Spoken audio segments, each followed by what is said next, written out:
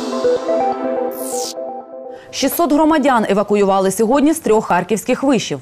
Поліції повідомили про замінування університетів радіоелектроніки, мистецтв та міського господарства. Поліцейські, кінологи та вибухотехніки перевірили понад 6,5 тисяч квадратних метрів приміщень та прилеглої території. Жодних небезпечних речовин не знайшли. Інформації зареєстровані у журналі єдиного обліку заяв і повідомлень Шевченківського та Київського відділів поліції.